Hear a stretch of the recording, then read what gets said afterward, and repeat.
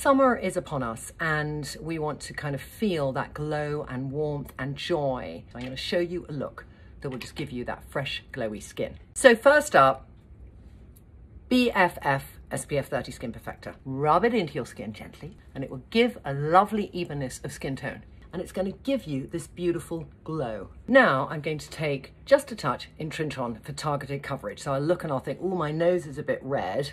I just go over just to diffuse that redness and give the coverage I need. If you have rosacea, it's fantastic for covering rosacea.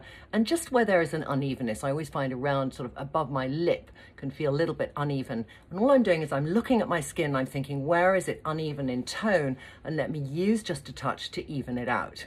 And now the icing on the cake. I'm taking Wiggs Flush Blush. Take a little bit in one finger, I transfer it to the next finger, and I just apply as required. Now, when I do blusher, I think an easy rule of thumb is to go from your nose to your eyeball and just kind of start applying the product around there.